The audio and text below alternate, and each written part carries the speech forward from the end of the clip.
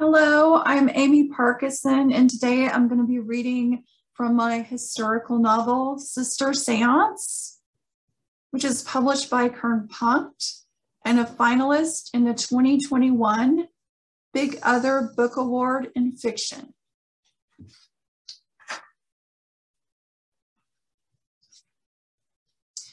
Viv used her cameras to start anew after the war. In Concord, people appreciated her skill. A seasoned photographer, she inventoried pristine cotton paper while imagining what she could accomplish with salt, egg white, and sunlight.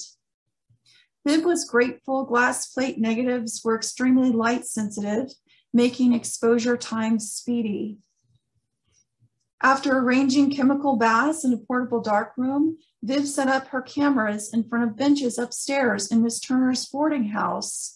Awaiting the prize winning couple from the costume contest, Viv intended her photographs of the couple to be a lasting memento of Concord's 1865 Halloween triumph.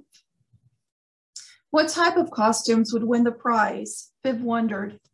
Town Hall was probably bustling with couples parading in disguise before an audience of contest judges and admiring crowds. The boarding house, felt empty with so many people at town hall, which hosted the costume contest, followed by public conversations. After the events, small groups would scatter to parlors of private houses, hayrides, and, and dinner parties. The most anticipated dinner party of Halloween was the Dumb Supper, hosted by Miss Ruby Turner inside the boarding house. Several couples from the costume contest would be guests, and Viv would feast among them without speaking.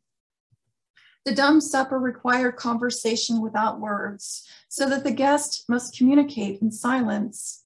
Silence was supposed to attract the presence of a spirit of a deceased person, a ghost.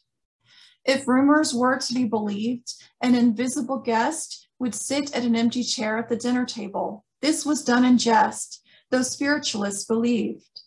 Spiritualists were growing in number because many families had lost loved ones to sickness and the war. Those in the deepest mourning were trying to reconnect with loved ones they had lost, and spiritualism provided a way. At the dumb supper, believers and non believers would take vows of silence.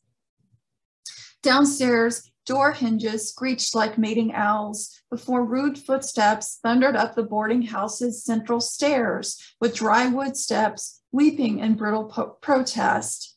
Up here, I'm ready, Viv called to shrill laughing voices in the hallway. The baby leapt inside her. Viv smiled. No one could be allowed to know why. She hadn't confessed her circumstance to her sisters or anyone in Concord. Disguised in elaborate, an elaborately carved bone mask, a couple tiptoed through Viv's room. Shaken by their lack of courteous introduction, Viv stared at the bone mask, framed in long, wild wigs of horsehair. Accented with deep hollow eye sockets dark as shadow, the mask exposed real teeth and wide, obscene smiles. The smiling mask presented a special problem, disturbing Viv's plan. No polite person smiled in photographs. It was considered improper. Would you like to remove your mask so I can capture your faces? Viv asked. The man shook his head. His wild wig unfurled to the hardwoods. Well, said Viv, your masks are terrifying because of the way they're grinning.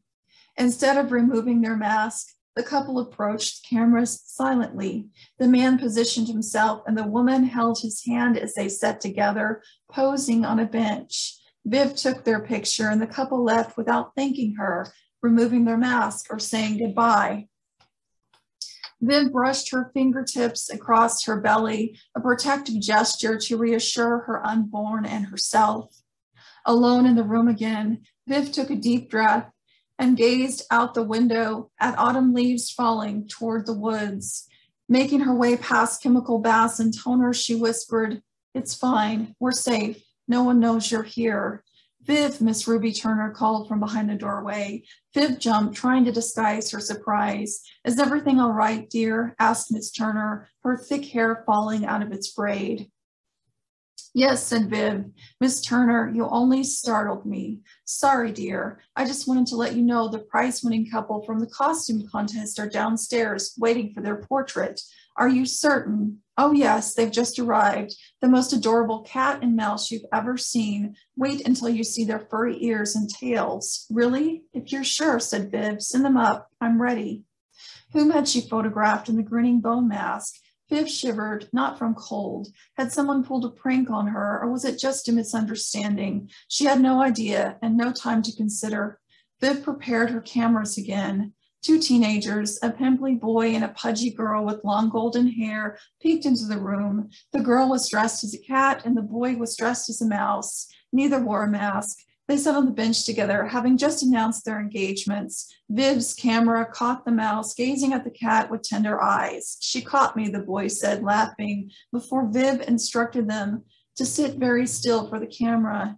She wanted to take more than one photograph to capture the sweetness and light in their gazes because she could tell how they loved each other. Seeing how sweet they were reminded Viv that less than five years ago, she was innocent like them.